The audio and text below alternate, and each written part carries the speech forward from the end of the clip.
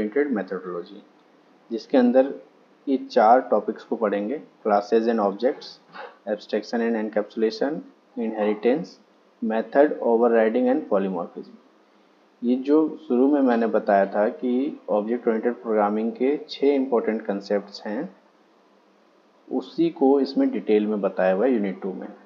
Classes and objects दो आपके ये हो गए। एब्स्ट्रैक्शन एंड एनकैप्सुलेशन दो ये हो गए। चार इनहेरिटेंस पाँच और पॉलीमॉर्फिज्म छः तो ये छः कंसेप्ट जो हमने फ़र्स्ट यूनिट में डिस्कस किया, उसी को डिटेल में यहाँ पे डिस्कस किया हुआ है। जो ऑब्जेक्ट क्या होता है? ऑब्जेक्ट रियल वर्ल्ड एंटिटी है, ठीक है? और रियल वर्ल्ड एंटिटी है, जो भी होती हैं, उसका स्टेट एंड बिहेवियर होगा, तभी हम उसको बोलेंगे ऑब्जेक्ट तो ऑब्जेक्ट को कैसे कैसे आप डिफाइन कर सकते हैं? फ़र्स्ट डेफिनेशन हो गया object is a real world entity object is a run time entity Third, object is an entity which has state and behavior. And fourth, object is an instance of a class. ये चारों चीज़ें already मैंने बताया है लेकिन ये यहाँ पे क्या है? देखिए इन चारों को डेफिनेशन के तरह से आप यूज़ कर सकते हो। एक साथ भी लिख सकते हैं आप अलग अलग आप पॉइंट में भी लिख सकते हो। ठीक है? Real world entity run time entity और ऐसी एंटिटी जिसमें स्टेट एंड बिहेवियर हो और साथ में ऑब्जेक्ट क्या है? इंस्टेंस है क्लास का। तो ये है ऑब्जेक्ट सेकेंड क्लास क्लास क्या बताया था? ग्रुप ऑफ़ ऑब्जेक्ट्स जिसमें कॉमन प्रॉपर्टीज़ हो। या ग्रुप ऑफ़ ऑब्जेक्ट के अलावा क्या हो था? ब्लूप्रिंट जिसमें, जिससे हम, ऐसे ब्लूप्रिंट जिससे हम ऑब्जेक्ट को क्रिएट कर सकते हैं। ठीक है? लॉजिकल एंटिटी है। और क्लास के अंदर हमारा क्या होता है? डेटा मेंबर डेटा मेंबर होता है क्लास के अंदर और मेंबर फ़ंक्शंस भी बोलते हैं या मेथड्स भी बोलते हैं इसको। तो data member and member function या डेटा मेंबर एंड मेथड्स अब क्लास को डिक्लेयर कैसे करते हैं? क्लास को डिक्लेयर करने के लिए हमारे पास क्या है?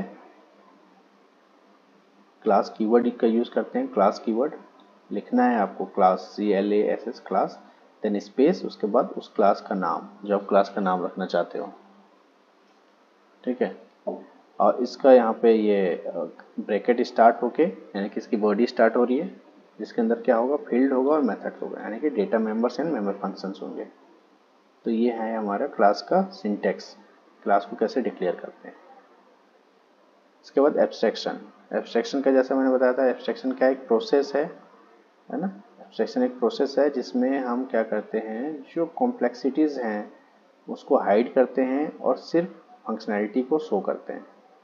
किसको शो करते हैं, किससे हाइड करते हैं? यूज़र्स से। आप जो भी कोडिंग करोगे, आप जैसे फॉर एग्जांपल आप एक वेबसाइट बना रहे हो तो वेबसाइट पे जो फंक्शनैलिटी है आउटपुट जो दिखाना चाहते हो, वही तो यूज़र को दिखेगा। बाकी जो उसकी कोडिंग आपने की है, जो आप लॉजिक लगा रहे हो, वो तो यूज़र से हाइड रहेगा। है ना? तो एब्स्ट्रैक्शन एब्स्ट्रैक्शन को कैसे अचीव कर सकते हैं?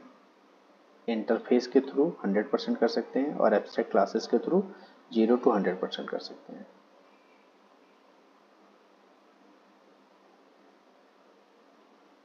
अब इसमें देखिए जावा में जो एब्स्ट्रैक्ट एक एब्स्ट्रैक्शन के लिए क्या था? एब्स्ट्रैक्ट क्लास है ना? एब्स्ट्रैक्ट क्लास के थ्रू अचीव कर सकते हैं। तो एब्स्ट्रैक्ट क्लास होता क्या है? तो एक क्लास होता है जिस नॉर्मल क्लास जो होता है, वैसे ही क्लास होता है, उसके अंदर आगे जो क्लास का नाम होता है, उसके आगे हम लगा देते हैं कीवर्ड एब्स्ट्रैक्ट ठीक है तो उसको एब्स्ट्रैक्ट क्लास बोला जाता है। और इस क्लास में एब्स्ट्रैक्ट और नॉन एब्स्ट्रैक्ट मेथड दोनों हो सकते हैं। एब्स्ट्रैक्ट और नॉन एब्स्ट्रैक्ट मेथड का क्या मतलब है? जो आप मेथड्स बनाओगे, उस मेथड से पहले एब्स्ट्रैक्ट कीवर्ड लगा भी सकते हो और नहीं भी लगा सकते हो। ठीक है? It needs to be extended and its methods implemented it can not be instantiated instantiated का क्या मतलब होता है? ऑब्जेक्ट को इनिशलाइज करने की ज़रूरत नहीं है। इसमें कुछ पॉइंट्स हैं जो आपको याद रखने हैं। जैसे abstract class must be declared with an keyword कौन सा कीवर्ड एब्स्ट्रैक्ट जो भी क्लास आप डिक्लेयर करोगे और एब्स्ट्रैक्ट क्लास आपको बनाना है तो उसके लिए कीवर्ड यूज़ करना पड़ेगा एब्स्ट्रैक्ट एब्स्ट्रैक्ट क्लास में क्या है? एब्स्ट्रैक्ट और नॉन एब्स्ट्रैक्ट मेथड दोनों हो सकते हैं। यानी कि जो आप फ़ंक्शंस उसमें बनाओगे तो फ़ंक्शंस को फ़ंक्शंस के आगे एब्स्ट्रैक्ट लिख भी सकते हो और एब्स्ट्रैक्ट नहीं भी लिख सकते अगर आप एब्स्ट्रैक्ट लिखते हो कीवर्ड तो आपका एब्स्ट्रैक्ट मेथड हो जाएगा। और नहीं लिखते हो तो non abstract method normal then इसके बाद it can not be instantiated इसको इनिशलाइज नहीं कर सकते। It can have constructor and static method also जो आपका एब्स्ट्रैक्ट क्लास है, वैसे नॉर्मल क्लास में भी होते हैं कंस्ट्रक्टर तो एब्स्ट्रैक्ट क्लास में भी कंस्ट्रक्टर हो सकते हैं और स्टैटिक मेथड हो सकते हैं। इट कैन हैव फाइनल की method which will force the class not to change the body of the method अब फाइनल मेथड का मतलब कोई ऐसा मेथड होगा जिसके आगे हम फाइनल कीवर्ड लगाएँगे तो वो फाइनल मेथड बन जाएगा। ठीक है? उसका यूज़ क्या होगा? उसका यूज़ होगा कि वो हेल्प करेगा जो आपका सब क्लास है, वो बॉडी जो आपकी मेन बॉडी है, उसमें कोई मेथड है, उसमें कोई चेंजेस वो ना कर पाए। एनकैप्सुलेशन एनकैप्सुलेशन क्या है? कि एक सिंगल यूनिट में डेटा मेंबर और मेंबर फ़ंक्शंस यानी कि स्टेट्स एंड बिहेवियर को एनकैप्सुलेट करना। ठीक है? तो एक सिंगल यूनिट में अब चीज़ों को एनकैप्सुलेट रैप कर देते हैं। Just like and real world में जो हम कैप्सूल होते हैं, उस तरीके से। अब डेटा मेंबर्स क्या हुए? वेरिएबल्स हो गए मेथड्स क्या हो गए? जो उसके फ़ंक्शंस हैं बिहेवियर हैं, वो हो गए मेथड्स इनहेरिटेंस इनहेरिटेंस क्या होता है कि मल्टीपल क्लासेस जब आपके पास होते हैं और एक क्लास की प्रॉपर्टीज़ दूसरे क्लास में यूज़ होती हैं, उसको हम इनहेरिटेंस बोलते हैं। जो मेन आपका क्लास है, उसको पेरेंट क्लास बोलते हैं और जिस पेरेंट क्लास से जहाँ पे इनहेरिट हो रही हैं चीज़ें, उसको बोलते हैं डिराइव्ड क्लास या चाइल्ड क्लास तो आइडिया क्या है? मतलब इनहेरिटेंस हम यूज़ करते ही क्यों हैं? तो आइडिया क्या है? It just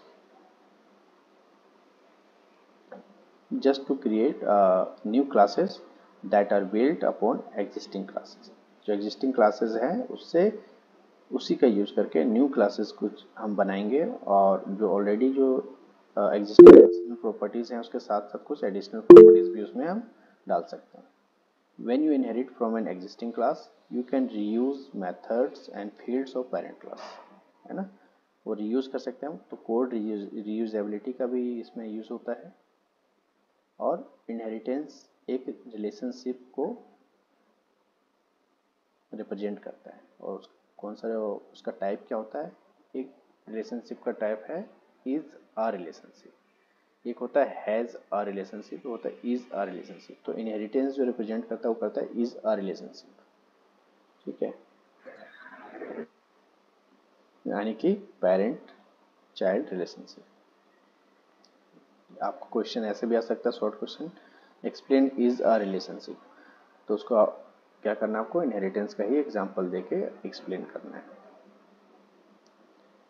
इनहेरिटेंस हम यूज़ क्यों करते हैं जैसे बताया तो उसके दो मेन रीज़न है। एक तो मेथड ओवरराइडिंग के लिए और दूसरा कोड रीयूजेबिलिटी के लिए। जो ऑलरेडी जो पेरेंट क्लास में कोड है उसको रीयूज कर सकते हैं हम। तो कोड रीयूजेबिलिटी हो गया। मेथड ओवरराइडिंग जो ऑलरेडी हमारे मेथड जो बने हुए हैं उसको हम नेक्स्ट uh, क्लास में जो चाइल्ड क्लास है उसमें यूज़ कर लेंगे। तो ओवरराइड हो गया। ठीक है? और इस ओवरराइडिंग के थ्रू क्या अचीव होगा हमारा? रन टाइम पॉलीमॉर्फिज्म अचीव हो जाएगा। इनहेरिटेंस में कौन कौन से टर्म्स यूज़ होते हैं? क्लासों का सब क्लास होगा, जो मेन क्लास होगा उसको पेरेंट क्लास भी बोलते हैं बेस क्लास बोलिए। जो सब क्लास होगा उसको चाइल्ड क्लास या डिराइव क्लास बोल सकते हैं। ठीक है तो ये सुपर क्लास और पेरेंट क्लास जो मेन क्लास है उसी को बोल रहे हैं। रीयूजेबिलिटी यानी कोड को रीयूज़ कर रहे हैं डेटा मेंबर्स हैं, उसको ही रीयूज़ कर रहे हैं, जो मेथड्स है, उसको रीयूज़ कर रहे हैं। तो इसके लिए टर्म यूज़ करते हैं रीयूजेबिलिटी अब जैसे क्लास में बताया क्लास कैसे डिक्लेयर होता है, उसी तरीके से हमारा इनहेरिटेंस तो इनहेरिटेंस में क्या यूज़ होता है हमारा? क्लास सब क्लास का नाम एक्सटेंड सुपर क्लास का नाम। मतलब फॉर एग्जांपल अगर आपके पास एक क्लास है क्लास है एन ए क्लास है ए ठीक है? ये मेन क्लास हो गया हमारा पेरेंट क्लास और इसको इनहेरिट करना है हमें ए वन में. तो उसके लिए हम क्या लिखेंगे? क्लास कीवर्ड ए वन इसके बाद लिखेंगे एक्सटेंड्स एक्सटेंड्स यहाँ पे देख रहा है एक्सटेंड्स एक्सटेंड्स किसको एक्सटेंड करेगा? क्लास ए को. तो एक्सटेंड्स ए ठीक है? अब यहाँ पे इसका जो मेन क्लास होगा, उसका नाम क्या होगा? सुपर क्लास का नाम, जो भी है। अब इस एग्जांपल में अगर ये जो मैं यहाँ लिख रहा था, अगर फिट करें तो ये हो जाएगा सब क्लास क्या हो गया? ए वन जो हो गया class A one extends super class super class कौन सा था? A class A one extends A और उसके बाद जो ए ए वाली जो प्रॉपर्टीज़ है, वो तो यहाँ पे ऑलरेडी आ ही जाएगी। और कुछ नई चीज़ें यहाँ पे बनानी हो, यहाँ पे आप डाल सकते हैं कितने टाइप के इनहेरिटेंस होते हैं? सी प्लस प्लस में और जावा में थोड़ा डिफरेंस होता है। इसमें तीन जावा में तीन इनहेरिटेंस को हम यूज़ करते हैं। एक हो गया सिंगल या सिंगल लेवल भी आप बोल सकते हो। जिसमें एक पेरेंट क्लास होता है और एक पेरेंट क्लास से एक चाइल्ड क्लास में प्रॉपर्टीज़ को इनहेरिट करते हैं। जो कि सिंगल लेवल अब ये एरो का ध्यान रखना है, जो पेरेंट क्लास है, उधर के साइड एरो होगा हमेशा। एक होता है मल्टी लेवल एक पेरेंट क्लास और एक पेरेंट क्लास से एक चाइल्ड क्लास में जाएगा और एक चाइल्ड क्लास से फिर नेक्स्ट लेवल पे यानी कि सब चाइल्ड क्लास में जाएगा। तो मल्टी लेवल मल्टीपल लेवल हो गया। एक होता है हायरिकल हायर का मतलब हायर की जैसा। एक parent class but multiple child class दो, तीन, चार, पाँच जितने चाइल्ड क्लास बनाना है। एंड एग्जांपल के लिए एनिमल एक क्लास हो गया, उसका चाइल्ड क्लास हो गया, डॉग, कैट लॉयन इस तरीके से आप हायरिकल इनहेरिटेंस को बता सकते हैं। इसके अलावा आप लोगों ने सुना होगा मल्टीपल तो मल्टीपल इनहेरिटेंस हमारे जावा में यूज़ नहीं होता multiple inheritance multiple inheritance use करने के लिए कुछ एडिशनल कंसेप्ट का हेल्प लेना पड़ता है हमें। है जैसे ये है मल्टीपल और ये हाइब्रिड तो हाइब्रिड और मल्टीपल ये हम जनरली यूज़ नहीं करते, उसके लिए कुछ एडिशनल कंसेप्ट का हेल्प लेना पड़ता है। इसके बाद है method overriding method overriding method मतलब कंफ्यूज नहीं होना मेथड एक फ़ंक्शन को ही हम मेथड बोल रहे हैं। जो फ़ंक्शन हम यूज़ करते हैं, बनाते हैं फ़ंक्शन प्रोग्रामिंग में, उसको ही मेथड बोला गया है। मेथड ओवर राइडिंग क्या हो गया? इफ़ सब क्लास यानी कि child class has same method अगर चाइल्ड क्लास में सेम मेथड है सेम मेथड का मतलब जो पेरेंट क्लास में एक मेथड है, वो सेम मेथड अगर चाइल्ड क्लास में भी है तो उसको हम बोलेंगे method overriding for example जो ए यहाँ पे था एक क्लास ए है, इसमें एक हमने मेथड दे दिया ईट ठीक है? ईट मेथड हो गया। और ये ऑटोमेटिक क्लास बी में तो आ जाएगा, ठीक है? लेकिन ऑटोमेटिक जो ऑलरेडी यहाँ पे ईट के अंदर जो भी हम कोड को कोडिंग कर रहे हैं, इस फ़ंक्शन के अंदर, वो ऑटोमेटिक आ जाएगा। लेकिन हम चाहते हैं इसको ओवर राइड करना। तो हम क्या करेंगे?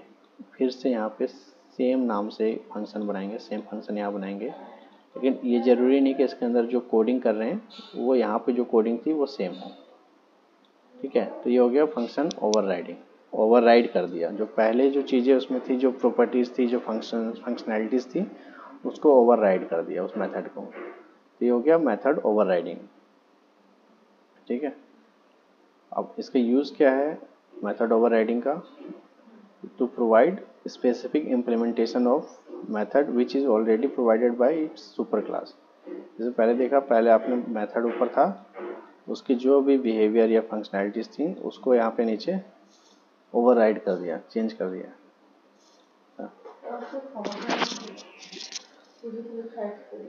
फॉर एग्जांपल अगर आपने पहले वाले में ले लिया ईट का फ़ंक्शन लिया था ईट में ले लिया क्या क्या ऑरेंज या एप्पल या कुछ भी ले लिया। लेकिन हम चाहते हैं जो इसका नीचे जो सब क्लास है, उसमें ईट के अंदर ये जो ऑलरेडी यहाँ पर यूज़ हो रहा है, इसके अलावा कुछ चीज़ें ऐड कर दें।